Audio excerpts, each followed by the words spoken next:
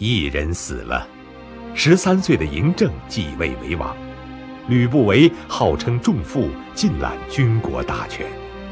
八年后，王弟长安君程乔发动兵变，檄文上公开写着：“吕不韦窥咸阳主器，大秦社稷久矣，今王嬴政亦非先王之嗣。”长安军兵败被杀，辅政多年的吕不韦亦遭免职。限期离开都城，行前，秦王嬴政突然驾临，吕不韦感慨万端，父子君臣凝视良久，秦王轻轻击掌，一杯鸩酒送到吕不韦面前。秦国的江山照旧姓嬴，但仅仅维持了数十年，而不朽的典籍《吕氏春秋》却直到今天。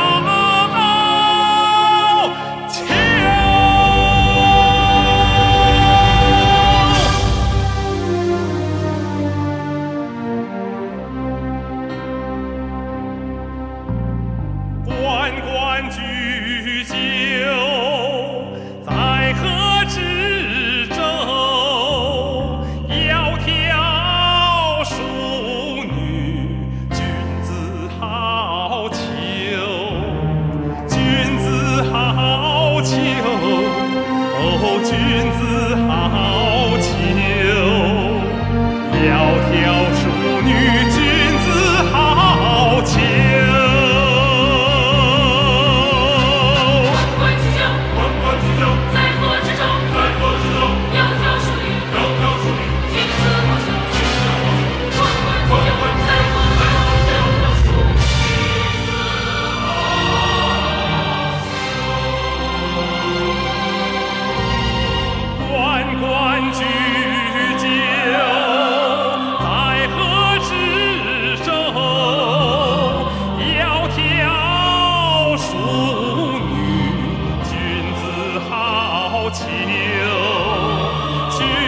好酒，哦！君。